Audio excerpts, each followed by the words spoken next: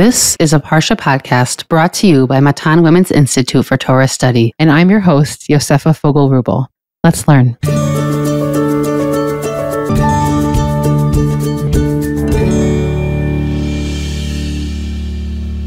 Welcome back to our Breshit series, These Are Our Heroes, where we're exploring with our guests a central figure from each Parsha, asking them what is meaningful, inspiring, powerful, challenging, and thought provoking about their behaviors.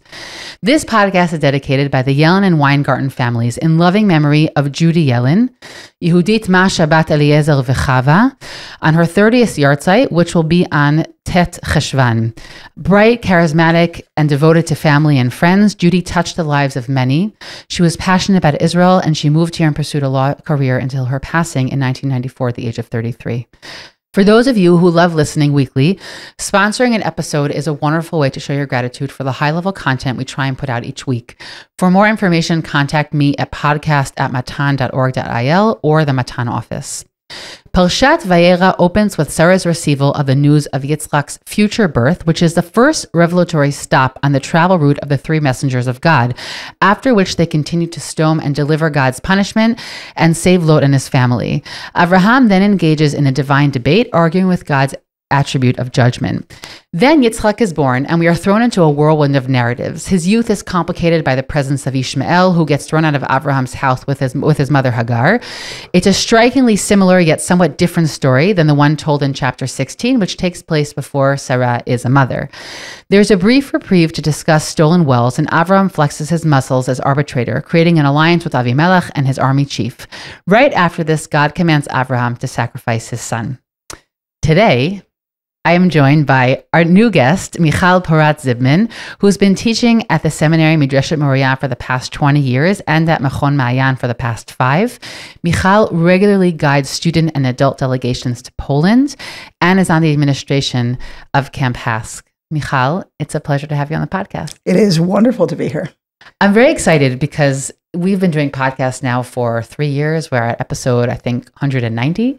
And we have never yet done sort of a portrait of Sarah Imenu, which is essentially what we want to do today, right? Okay. Our, our series theme are these are our heroes. And today we're going to sort of dig deeper into Sarah Imenu as a hero of Am Yisrael and sort of explore the different dimensions that are brought to us. So, where do you want to start this exploration of Sarah? Her first introduction is to two Parshiot ago. It's not in Parsha. You know, her main role takes place in Lech Lecha and mostly Vayera, but in the end of Parsha Noach, she's mentioned, and I think it often gets like sidetracked because the Noach story between the Mabul and between Migdal Bavel, like that's like the main discussion there. Then at the very end of Parsha Noach, the Torah tells us, "Vayikach Avram v'Nachor lehem nashim, Shem eshet Avram Sarai, v'Shem eshet Nachor Melka ben bat Haran, Avi Melka vi- Avi Melka Yiska." Then there's another piece to this. It's not just that we're introduced to her name. There's like a description, Vati Sarah Akara and Levalad. And Sarah was barren and she had no children, which at first glance and maybe even at eternal glance, I don't know, it, it, it's so such a strange thing to say about someone. We're, we're projecting the woman that is going to be the matriarch of the Jewish people, one of the uh, the first of the uh, imahot, and and that's how you describe her. Like that's that's her resume. It's it, it, it seems it seems to me a little bit uncomfortable at first.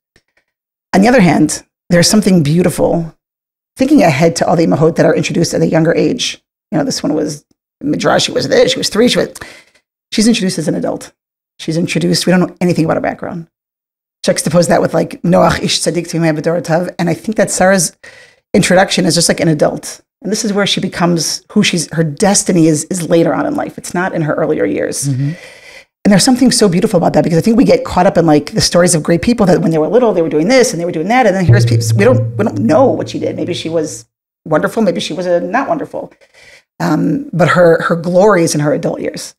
And and even coming here this morning, like I was sitting on a bench as everybody was coming in, just watching all these adults come to Matan, I was just thinking like this is so beautiful. Like at all age, you know, your connection to Torah, your connection to it doesn't matter what. Not that it doesn't matter what people did beforehand. You know, I'm sure people here have wonderful resumes, but just the the concept of okay, what if I didn't start earlier on? What if I wasn't doing that? So, two, two thoughts in response to that. The first is that I often say that same idea when it comes to Moshe. I always say he had a full life until he was 80, but his big career break Was- was when he was 80. Which you never really think about also. Which you don't think about it. And you don't think about Moshe as an evolving personality that maybe ha- he had to evolve. I mean, as a leader, he certainly evolves that when we meet him at 80. But I, I think about that often that, you know, we live in a world where there's a lot of emphasis on, you know, having early breaks and you have to have a startup and your first startup by the time you're 30. And I'm not saying that that's not true. It's also because the, the, the time frame and the the rhythm of technology is much faster than human rhythms actually are. And that's what creates a lot of times the stress between tech technology and how we actually function and develop. But i think that's such a meaningful point right? That people sometimes our best chapter is is still ahead of us. And the other piece i just wanted to say in response to meeting sarah as someone who's barren not only is it a significant piece of information because ultimately she's supposed to be a matriarch and this is clearly going to be her biggest life hiccup but it also tells us the following we already learned that marital relationships can go awry. We learned that from the story of Adam and Chava. We already learned that parent child relationships can go awry. We learned that from Noach and his sons. And I feel that when we meet Avram and Sarah, or Sarai, it's where we first meet the idea that we might have had all these lists of all these generations that were begat. But this is where we meet the, for the first time this idea that that also can go awry and that there is nothing promised. It will be promised to have a child. There's nothing. It's no. It's no given that children will just be born. And so it's such an. I think it's painful, but it's painful, but it's also in terms of a marriage. A, a marriage can be successful. They were they were partners lachol davar at that stage, and a marriage can be successful with, without yet having children. And and yes, children are, are the biggest bracha in a Jewish family. But but we're I mean, if we're all honest with ourselves, we all know people. We're living in a world where that doesn't come easy to everyone. It doesn't come mm-hmm. simply to everyone. Yeah.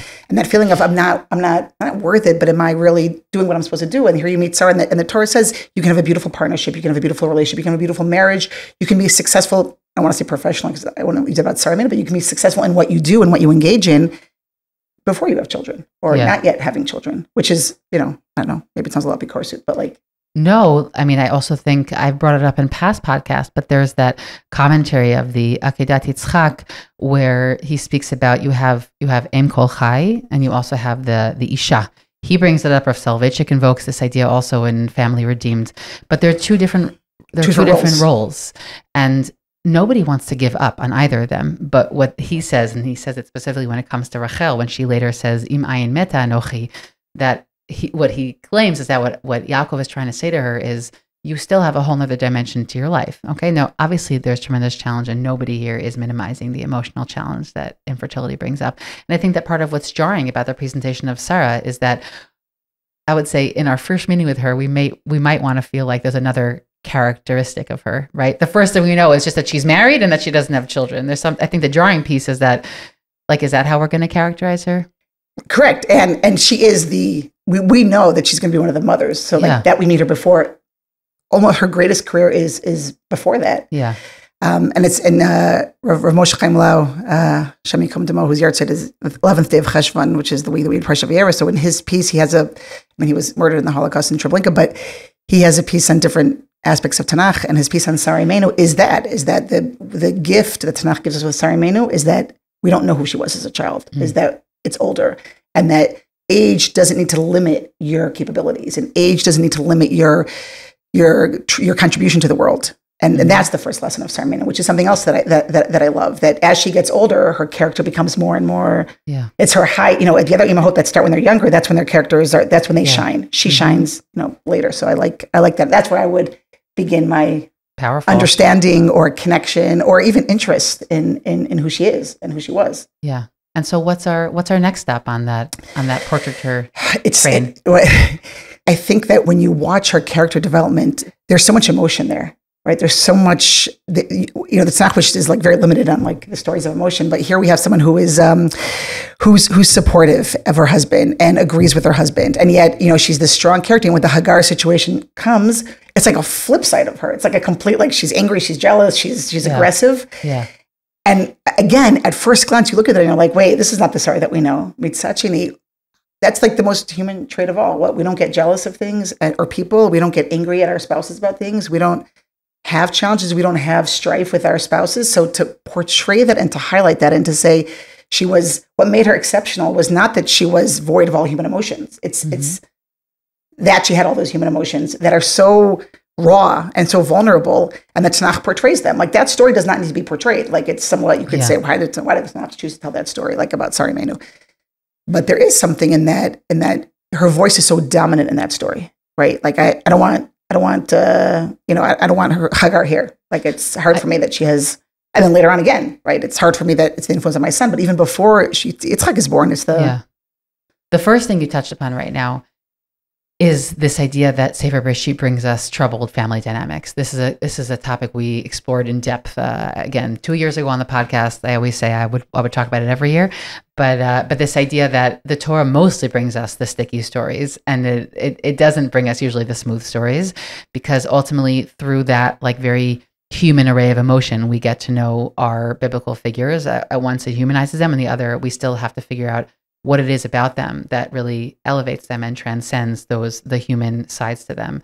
The the the other piece I just want to say in response to specifically regarding Hagar or sort of the docile nature of how we see Sarah in going down to Egypt and playing along with Avram's plan, which to us feels difficult morally, versus her outspokenness in terms of the home is that I think it's very much about where do people have vision about what, right? If somebody has a vision about how something should be, so we tend to be more vocal about it. We meet Sarah is somebody who has a strong vision about how she wants her home to function, who she wants to be there, what kind of influences she wants there.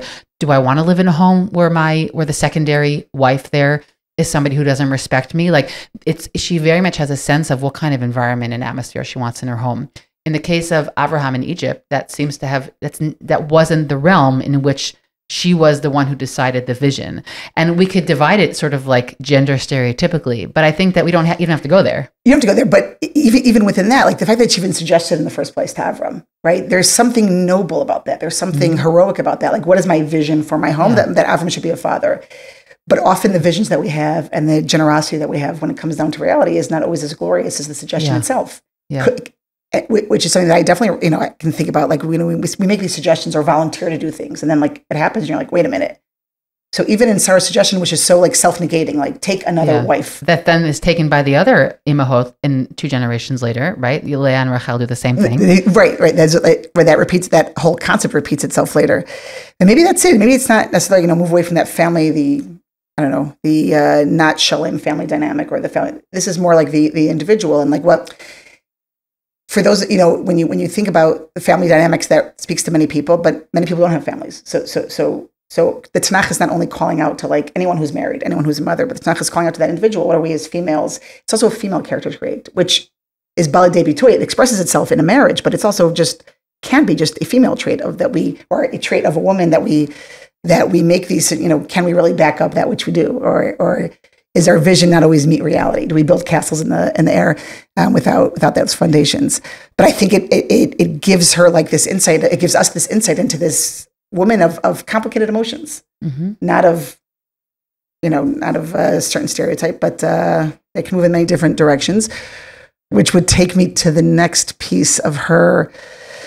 It's sort of like a hidden place where she is, right? In the beginning of our Parsha and Parsha Vayera, when they come, when these three messengers come to, to Avram and he's sitting outside the tent, which is always a strike. I know my daughter was born in the, for, for this week's Parsha, and I remember like being in the hospital reading that story, and it was so, it was- stood out to me so much of like, Most people read the parsha while they've just after they've just given birth. yeah, most people do that. no, no, no. It's like, I know friends who did ver- Dafyomi. It's all good. Clearly, most women do this. It's because you know you- when you first of all when you have a girl you don't have a bris, so you have to like you know think about you have to like create your own narrative without a tekes, so you have to make up your own tekes. yeah, I've, but, made up, I've um, made up a lot of those. Yeah, But um, oh, that's a conversation we should have a different time. we could have that conversation. Yeah, Um, of, of you know of, of sitting outside the tent and and and Rav Hirsch has this whole piece about Avram that he's why is he sitting outside the tent to show that the brit milah that I had is not going to separate me. It's going to make me part of the part of the world. And then these malachim come and they talk to Avram and they say Ayesar ishtacha and it's, "Hine- hine ba'ohel," right?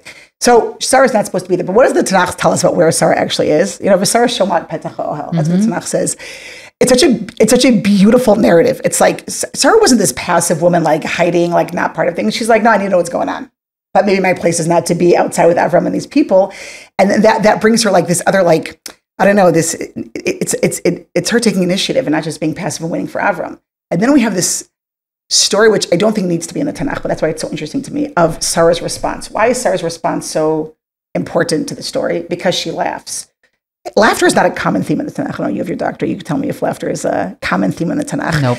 And um, and she laughs, and then there's this, you know, Hashem say, you know, it's almost, almost like Hashem gets insulted by Sarah's laugh, almost. Mm-hmm. Like, what, what is she? What, how could she? How's that Sarah?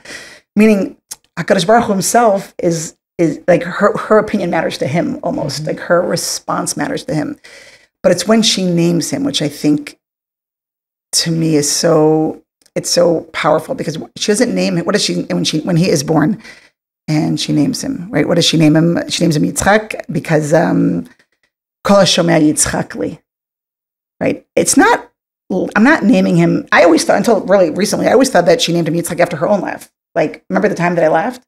But it's not. It's Kol HaShomea Yitzchak li. Anyone who hears about this, well, I, want everyone to join in my joy and everyone to mm-hmm. join in my awe of, of, of, of the fact that I was able to conceive a child at this age and, and deliver a child at this age, meaning there's like a sense of humor about her that's somewhat self-deprecating, but it's, it's, I, I love that because it's not stereotypical and it's not like there's a simcha and there's a joy in there. It's kol Shemir, like for the rest of eternity, everyone, I want everyone to laugh with me, mm-hmm. right? It's taking a moment that you might be ashamed about and then like being not mitakenit, but maybe being ma'alet. I know it sounds a little bit rough cookie about like rough cook, rough cookie about like fixing something in the past. So maybe maybe that reaction of laughter and Hashem being, she's like, no, no, no, no, I want this to be beautiful. I want us always to be laughter as an expression of awe, of an emotion that I can't for all times. Kol hashomea yitzchakli and not, you know, tzachakti, you know, nine months ago.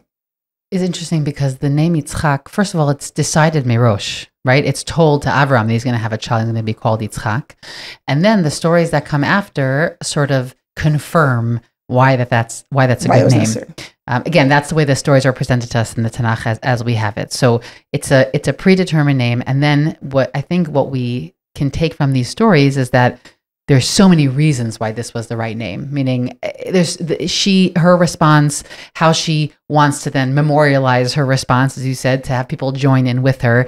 That out of tzchok of simcha, as opposed to making fun of, right? She wants everyone to be joyful with her. Um, and I think that part of what it tr- comes to say is that the the name that a child is given can be named for multiple things at the same time. It could be both like something that's like predetermined or predestined. It could be a combination of the emotional space of the parent at that time, and it also may be reflective of the nature of the child as as it will develop. But like there's sort of like multi, it's like a multi-dimensional um, source for the name Yitzchak. Uh, and I think that I always wonder, meaning what what comes before what? Like, did she know his name was supposed to be Yitzchak? Like that. And then she gave a reason for that. yeah, meaning I, I tend to think that that's what was. Like she knew that that was supposed to be the name, and then she's like, "Oh, that's so interesting," because it actually really fits into the scenario in which this whole thing played out. Um, I always but- thought of it as like that was the name, and then she says, "No, it's going to be. I'm going to add to that," which is very true. What you say, Mm-hmm. Yeah. like the emotions when you name a child, there's a lot of different Yeah. pieces to it. It's not just like one. It's it's it brings up so many different thoughts, but the fact that she's able to take it out of her personal space and invite all others Yeah. in, which is again the word I keep thinking about sermon is inviting. And I think she is trying to repair something because when she's called out on her laughter earlier, she feels a need to defend herself and and to say, no, no, no, no, I didn't really laugh, right? Which is its own question. Why? Right. What is that white lie?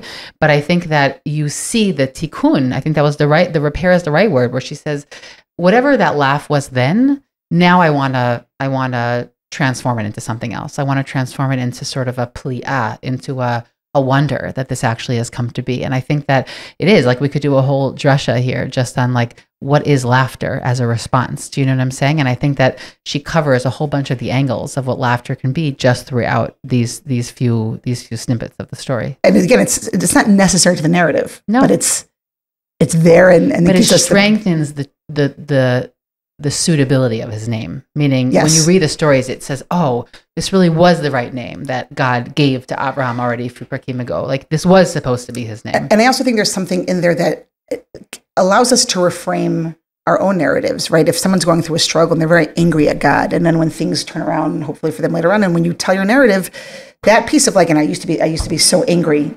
It's no longer, it's not, it's like, you know, when they say like, uh, when a wound becomes a scar, when it was something in the past, right? So often when, even in questions of emuna, and definitely now when there's anger and frustration, when that becomes a part of our narrative to later on that I was once in a dark place and now I'm in a better place, it, it, it enables us to to lift up that darkness. And I think that's what she does. Not she's not lifting up darkness, she's lifting up Yeah. shame or embarrassment. At, I think I think it's, it's a yeah, it's a reframe of that of that scenario. And I think in this case, I don't think she would. I, I think her infertility was her was her first wound. Meaning, you see the pain of it from the way she responds to Hagar. Um, but I think that in this case, she's she's reframing a way that she responded, and we could do that often. I mean, I would even say on a basic level, like sometimes we'll retell a story and we'll slightly shift the way we retell it because we didn't love the way it went down. oh, so that's the difference. She did it on purpose. Like she didn't like the Yeah. win, so she she like shifts. That's yeah, true. shifted- it's like it's a natural instinct. I, I'm I'm sorry, but it's happened to me before, where like you like change slightly a fact to align it with the way you kind of wanted it to work true. out, uh, and it it happens. Okay, so so what's our our next step on the on the Sarah journey? the next step on the Sarah journey is is like a it's almost like an ironic step on the Sarah journey because it's where we most expect her and where she's most absent. Mhm. And if you if you which is the story, you know, it's it's like intimidating right now in this time of where we are in uh, in the land of Israel and in the world to to talk about the Akedah. Right? It's it's it's the topic that you can't talk about. It's the topic that you can't avoid. Mm-hmm. And so every up until recently, the Akeda was always like a theological discussion like you could have, even if as a parent you think of it a little differently. There's no question that we read it differently now. So I just want to give it space to that piece of like I, I, the Akeda no longer seems as like not that it ever really was, but like another biblical narrative. It we connect to it on a much more much more profound level. But right before the Akeda, when when Yitzchak is uh, when Yitzchak and Yishmael are already boys, and the effect that Yishmael's having on, uh, and, and and Yitzchak is very apparent, and Sarah's voice is so dominant there to the extent that even God Hashem himself refers to it. Kol asher tamar lecha Sarah shma b'kola. Like listen to her voice, and Avram has no voice in that story. Avram is, you know, he doesn't want to, but he doesn't, he doesn't speak. And then we have this story that is so painful and so complicated and so challenging. And you would think that the, the, the mother that, that the mother, the mother who should be there, not only should she be there, but a story ago, she was bothered by influence in the house and she's, you know, takes this dramatic step. And then you have the story of- Yitzhak leaving the house forever and it's completely absent. Mm-hmm. The, the Akedah Yitzhak is a story of Avram and Yitzhak. And Sarah's voice, which we need, which we're so desperate for, which we, again, I've never really framed it like that in my mind until literally last year when we were so when we read the Akeda right in the beginning, and we're like, where is that mother? Where, where, where is where is her voice? What did she say? Was she compliant? And then you start looking at the Makorot, and it's almost like everybody notices it and Yeah. everybody addresses it, and it's lacking for everyone. And to me, the real question, which I don't know if anyone has an answer to, is why did the Tanakh choose to? Why does the Torah choose to remove her from that? Before we go into some of the explanations that the Parshanim offer regarding her absence, I just want to say that the same idea comes up when it comes to Rachel passing away and the story of Yosef and his brothers. I, I don't remember where I read it, but the idea that that whole thing likely wouldn't have gone down the way it did if Rachel had been around. Meaning there was something about the fact that the boys were kind of, uh, Yosef specifically, was kind of left vulnerable without the protection and love of somebody else in the home. I think there also she's she's not there because she's she passed away, but um, but in that case also there's sort of that that pe- there's that absence. The other thing that also came to mind as you were describing that is that first of all I'm thinking of Hannah being somebody who who sacrifices her son in air quotes and sends him to the Mishkan. There's also there's like a moment when she brings her son there that always makes my heart kind of like eh, hurt because I'm but she, she worked so hard for that son and now And she's dedicating him to the Mikdash. So it's not sacrificed in the sense of killing, but there's there's to me there's like a almost like a a sequel to this of here's a woman who Dafka is the one who brings her son. She's the one who had the vision. She made it happen and she brings him to the Mishkan. But even in that story, it doesn't happen right away, right? Elkanah wants to take Yes, when it's like Adi yes. Gamel, like she wants to hold on to him. so we keeps see that mother. Yeah. connection, which which we don't have anything from Sarah. We just Yes. it's almost as if she's Yeah.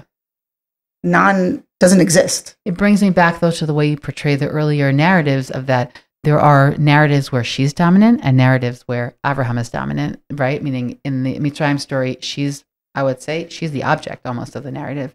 And in the Hagar stories, she is the the main the main uh the main Voice, the the main voice there. And and in this case, it feels like you know, in the world of uh, Abraham's relationship with Hakadosh Baruch Hu, this is this is his space. Even earlier, the Brit Bein HaBetarim is given just to Abraham.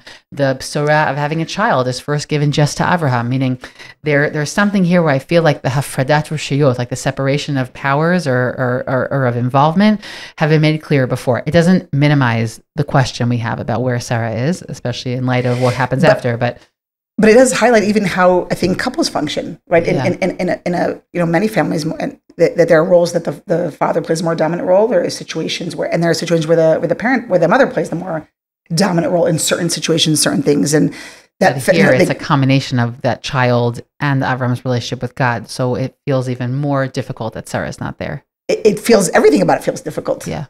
You know, Sarah was the, yeah, Yitzchak was their journey together. Yeah. And then, and then she's, taken out. and then she's taken out. So how do the commentators look at this absence? so you know her story spans in so many parshiot, and then the, the, the story that happens right after Akedat Yitzchak is, is the beginning of Parshat Chayei Sarah, which is that that Sarah dies, and the the Torah emphasizes that Sarah. I mean, it doesn't. It's obvious that she dies in Hebron, and that leads a lot of the Parshanim to say, wait, wait, wait, wait, wait. Why did she die in Hebron? Right? Avram leaves to the Akedah from Beersheba. And then Avram goes back to Beersheba at the end of the Akedah, Mhm. right? He comes back, you know, with Yitzchak, without Yitzchak is a different question. And why does Sarah die in Hebron? Why is she not there when he comes back? And the Midrashim do talk about the fact that Lama Nisma, why was it why was it connected that that the Akedah had such an effect on her, or the thought of the Akedah, or the rumor of the Akedah that that she died. Now, why does she die in Hebron? So, so the truth is, I think that, that the Netziv, is- I remember hearing this actually from Esther Rosenberg's, Rabbanit Esther Rosenberg so many years ago. And I remember just, it's such a visual thought that where Beersheba is down south and Avram wakes up, the Netziv says that Yaakov wake, that Avram wakes up in the morning to take Yitzchak and then Sarah is like, where are they going? And she, she runs after him, right? She runs after him. She, she follows him and he gets to Yerushalayim before them and she gets to Hebron, which is in between Beersheba and Yerushalayim. And then she sees what happens and and it's almost as if they, she had an emotional not almost as if that she had a heart attack of some sort right that's what the midrashim say that she that she died that the, there was a direct connection Balchanafsha, right there's a direct connection between the rumor of Akedat Yitzchak and her death Mhm. um, and and I think in the earlier commentaries, right, it's just it's it, it's more described as the pain of an emotion. Why isn't her voice there? It seems as if no one thought to tell her. Now, why does no one think to tell her? I, think there's something there about the fact that the last time God Hashem addressed addresses Sarah's voice to Avram, it's in the story before with Hagar, where Avram says Hashem says Kol Tamar Lesh uh, Sarah Shema B'Kola. And maybe he's nervous that if he tells her, she's going to say no. And maybe Avram is caught in his own mind between do I tell my wife or do I listen to Hashem? The last thing Hashem told me was listen to her. And I, I can't talk to her right now because she's going to persuade me out of it. Right? Those things that spouses do that I, I can't tell my spouse about this right now because I need to do this. And maybe he'll stop me for whatever reason. So perhaps that's why he, he stops. He doesn't tell her at all. Um, but, but, but, there, but when you later, as you enter the uh, commentary world a little bit later on, it seems a little bit more complicated than that. It wasn't just that she heard about it and then she died, right? It wasn't just that she had this emotional reaction. It's it's what what happened to them, what happened to her as a mother, what happened to her, what happened to her as a wife, um, and yesterday was the yahrzeit of the uh, of the Ish Kodesh of uh, of Piaseczna, of Chaim Shapiro of Pias- of Piaseczna, who was was a Rav in Warsaw in Piaseczna before World War II, and then in the Warsaw Ghetto, and then he was killed in the Shoah. And his drashot, which are very well known as the Ish, uh, known as the Ish Kodesh, even though if you met him in his lifetime and you called him the Ish Kodesh, he wouldn't, He wouldn't that, have he known wouldn't who have known that that about himself. And um, and and what he's and and and how does he look at you know the Akedah Yitzchak, and how does he look at uh, uh, uh, how does he look at the death of uh, of Sarah? And and the Ish Kodesh really says that that there are certain nisyonot. That's the bottom line of of what we said. That the whole story of Sarah's absence and voice, and and and then connecting her death to it, is literally to show is to show Hashem to show us there are certain nisyonot that we can't handle. Mhm. That a mother, parent, a mother losing her son, it, she couldn't go back to herself. And in a in a I don't know in in in a real very real way today, I think it's such an it's such a loud narrative for us. We are surrounded today, surrounded in every especially in the last two weeks. Every Ein kihila bameit in our community and in the larger Jewish community reminds us to be so careful, so careful with those who have experienced loss. Yeah. That even if they may portray a certain gura about them, what the Ish Kodesh says is so real that that reminding us that when you experience the loss of your, of your child, you're never going to go back to being who you were. Mm-hmm. Now that's on a personal level. Rav Meidan and Rav Amnon Bazak from Yeshivat Har in a, one of their clips of Chidush Me'agush, um, where they talk about different inyanim of, uh, of the Parsha. It's I highly recommend it. They're excellent. Yeah, they're excellent. So in there, I think it's 2021, I think it was from that one, where they talk about why Sarah dies in Hebron. And Rav Meidan says it's not possible that Sarah was alive during the Akedah and this happened. It's, it doesn't right. make he, he any can't sense. conceive of that being a possibility. Not a chance. Yes. So he says that the whole story of the Akedah happens after Sarah dies, Mm-hmm. which means going against the pshat. which is totally going against Yeah. the pshat, but but sort of making everything live harmoniously, Yeah. and maybe also reminds me a little bit of what you said about Rachel and Yosef. Though that, that story could have only Yeah. happened if she wasn't around. Yeah. And Rav Bazak says something which is so radical to me, and I don't even know how I feel. I don't even know how I feel about mentioning it. Maybe you'll edit it out, but like Rav Bazak says, the pshat is that when Avram went back to Beersheba, Sarah wasn't there because she their, their relationship wasn't the same anymore. Right. He says almost maybe they were separated. I think he pretty Yeah. much indicates that they were separated. Now you don't have to go even that far. Yeah. Right? Did she pick up her stuff, pack her suitcase, and leave? Or did she just not want to be at home when he came home? Mm-hmm. Which I think is a little bit softer Yeah. in terms of that relationship. Like you can look Yeah. at that relationship, you can look at that piece of her dying in Hebron Mm-hmm. while he's in Beersheba and say, as I think Rav Bazak says, he left. She left the house. She could not live with him again, Yeah. and they were separated. Which also touches upon that inviting piece of not every marriage, not the, the not every marriage ends in harmony. Even though Yeah. theirs does have a harmony in the end in terms of the burial, but we'll get that to in a second. But I think even if you say like she she couldn't be home, like there are times when we are so frustrated with our whoever it is, our spouse, or and, and you're like, I don't want to be here when they get here. Like I Mhm. can't face them. So I would like to believe that she goes down to Hebron to be the kever of Adam and, uh, and Chava, where she goes down to connect, and she happen, and then she dies out of a heart attack, but she doesn't leave him. Mm-hmm. She just needs a break. How, that there has to be room for that in the Torah. That that sometimes as partners as they were, and they were so together and everything, they, there were times when they couldn't be together. Yeah. I, think also specifically surrounding loss, one of the things that I know people are told from having people close to my life who've lost children, uh, one of the first things that they're told is please be aware that you and your spouse will not mourn in the same way. Meaning you have to create space for everybody to respond differently. And that might also be sitting at the root of this, meaning there was sort of like a space created for each of them. Now, in the end, it didn't come to pass and he, he wasn't sacrificed, but it was almost like this understanding that we are not going to meet this challenge in the same way. Um, again, maybe in the case in this case where she literally just she couldn't she couldn't get past this moment, but it sort of to me creates this like parallel this parallel picture of like there's the way Avram's going to deal with it and the way that Sarah's going to deal with it. And I'll take that and I'll say not only parallel this way, but parallel in the future. If Sarah's voice would have been added to the story of the Akedah, it would set a paradigm for how mother is supposed to respond to mm-hmm. the Mesirat Nefesh of her son, which would be, I don't want to say unfair, but it would, it would, it would bind us to that a little bit. What if she pro- protested? What if she said, wonderful? What if she said, this is a great? Then we would all feel like every time in our days, every time a mother drives her child to the army base and every time a mother takes her son, you know, back to the army. And, and, and that would how I would understand today, that idea of going out towards Mesirat Nefesh, or every time, even if you put away that piece of taking him there, every time a parent experiences the loss or potential loss, because in this case it was the potential loss of her child, everyone is going to experience that differently. Sarah and Avram were going to experience it differently, and Sarah and every other mother in history is going to experience that differently. And we have that in our society. We have the mothers who are very outspoken. We have the mothers that are not outspoken, and Yeah. and not to think it has to be this way or that way. And and maybe that's you know you you want to always have a different relationship with Torah, and you want the Torah to seem different to you. And for years, it's bothered me. I always thought it was so.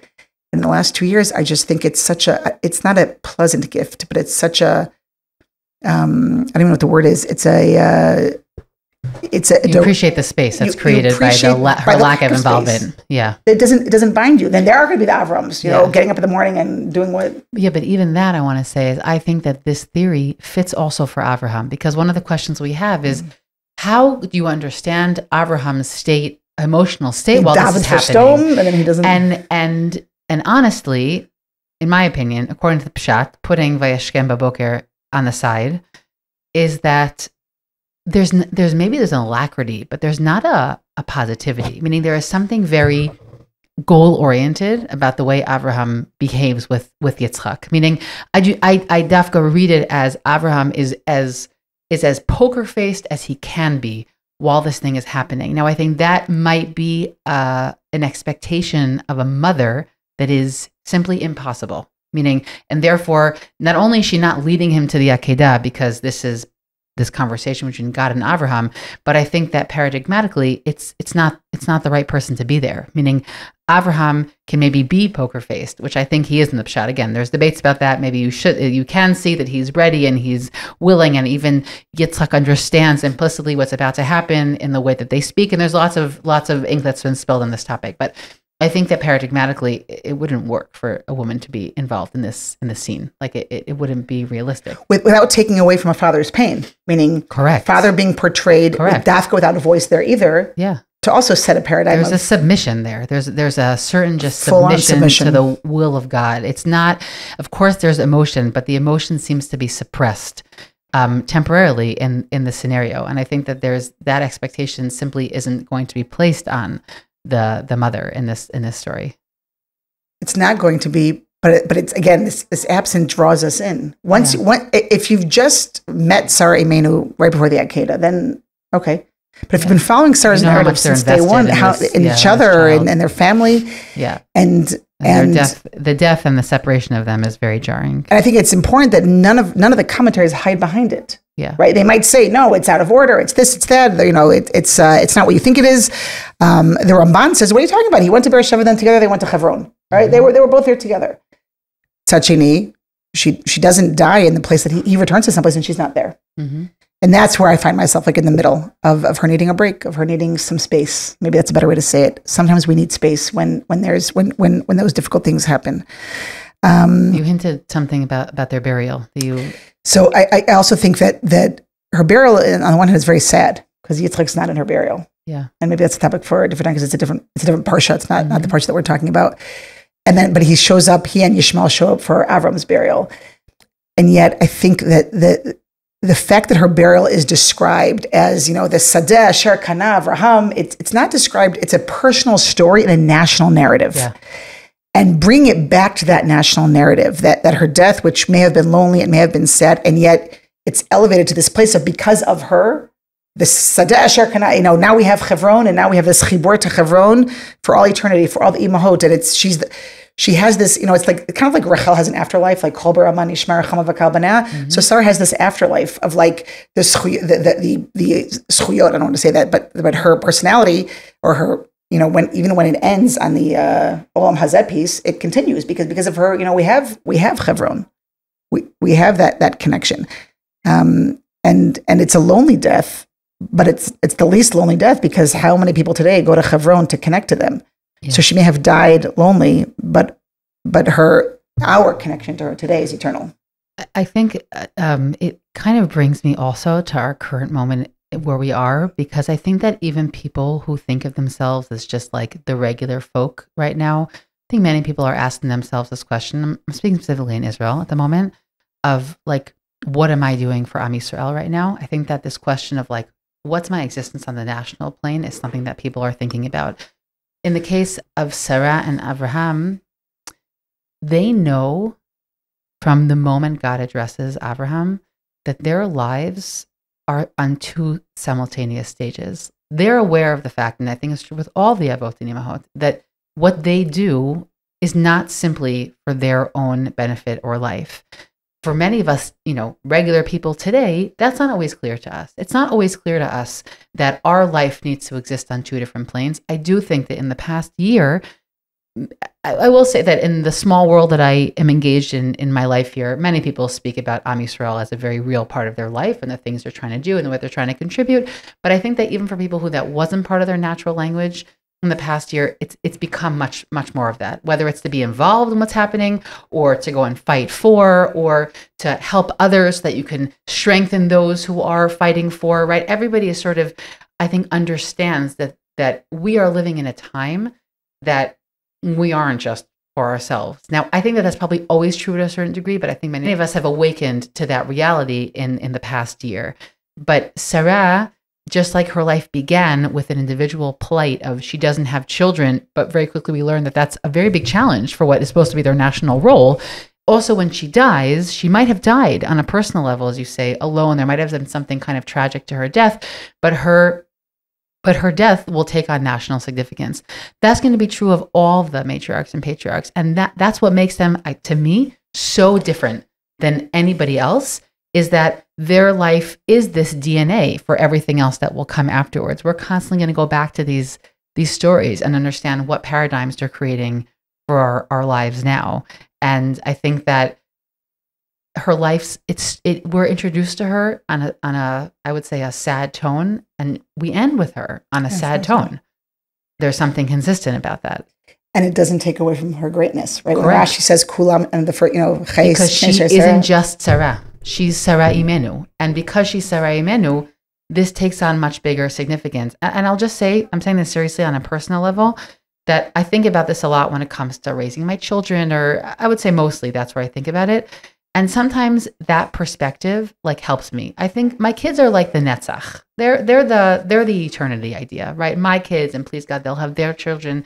And sometimes I think about that. I'll say, hey, get a hold of yourself. You're thinking a little bit too too narrow right now. Like this is an investment for the long term, right? Whenever people make comments about parenting that are like very in the here and now, like, oh, it, it, like, okay, like, but often what what saves me from like either getting lost in the here and now or sort of going getting too high in the here and now is to think about like this is a long term investment in like the like eternity of the Jewish people. It sounds like very intense. I don't do that like on a regular little fight with my kids, but I do think about it once in a while. Like I really, I really do. I think you have, and it, you can't. It's, it's it's a soundtrack that you can't avoid in yeah. this country in this time. Yeah. It's it's always there. Yeah, and that's why her, that's why when you know when her death is portrayed as you know Hasidah cannot, and there is national significance to death, even though it's a, a, a personal tragedy that one cannot even convey in words. That we're not going to convey in words but maybe there's maybe there's a hand holding there from the yeah. from the Torah from the Tanakh of of if I could be allowed to do this, that um, so you mentioned whose yahrzeit is on the 11th of Cheshvan that you just mentioned? Uh, Rav uh, Moshe Chaim Lau. Right, Nachon.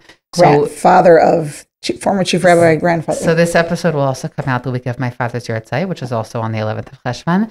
And I just want to say, as like a total side note, to my father, bef- well before he was not actually, but what before he was sick, he decided that he wanted to be buried in Israel. This was there was like a Groupon in the shul of buying plots in Eretz Chaim. in uh, Groupon doesn't exist anymore. But you know what I mean? Yeah, yeah, um, and and they sold the plots they had in the states, and they bought plots here. Now, of course, both Machshavot Balevi, she had no intention of using it within the coming year, but that's unfortunately what happened. But uh, it sounds so silly. But even like the choice and to be well, Rabbi Huda Levi would criticize this choice the choice to be buried here is also to me makes my father's death part of a national story. I didn't grow up in Israel. This is not where their roots were. I'm the only one in my family who lives here. But like to me, I like people always joke like, "Oh, do you have any family in Israel?" I'm like, "No, but my father is here eternally." Beautiful. But but to me, it's it's very meaningful. Like meaning, it, first of all, it's meaningful because I know that that decision was swayed by the fact that they had a daughter who ended up moving here. But also, it's a it's an ideological decision to say like, "This is where I'm this is where I'm resting forever," and and I think that we can't always think about our decisions in terms of netzach, like it's a bit heavy and that's not how we function on a daily basis. But I agree with you that this past year, first of all, life is heavy.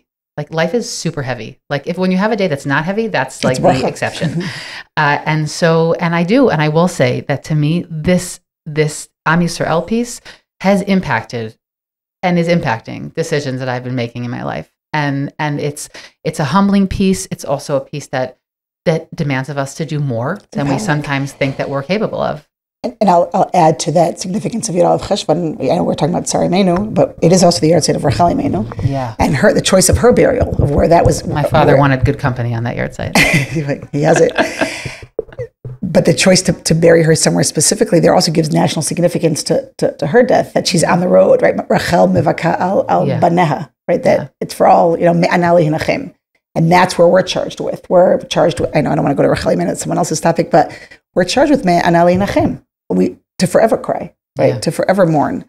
The death doesn't stop the relationship. It just, it, re- it stops a certain part of the relationship, but, but we, we continue that obligation of connection. Okay, so Michal, we, we have to wind down our episode, but I know that in your heart In there heart. is uh, another another Sarah There who is. was very very close to your heart, and I, I just kind of as we wind down today, I wanted you to bring her into the conversation as well. First of all, I'm so grateful for that. I'm so grateful for that because it's someone that has impacted all of our lives, including where we, including where we are and what, what's going on behind us, and all these women learning Torah. That uh, I think her role in history has some, some gotten a little bit. Uh, she doesn't have the glory that she deserves, um, and that is Sarah Schenirer. Sarah Schenirer, who, who is known as the founder of the Beis Yaakov movement, but there's something in that sentence that's almost not fair because so many Yeah. Jewish women and from women and, and not and or women who connected to Torah who aren't part of the Beis Yaakov movement. So when you hear that affiliation, like, oh, that that's not me. Sarah Schenirer, without getting into her whole biography, but I can recommend uh, some books if anyone is interested. She didn't wake up in the morning and say, I'm going to open the Beis Yaakov. She started a women's Torah learning that was later by the Aguda named the Beis Yaakov. And that's what it became when it became. But the impact that Sarah Schenirer's individual contribution of teaching girls Torah in Krakow in, in a way, not just she gave a Dvar Torah and not just she gave a shir.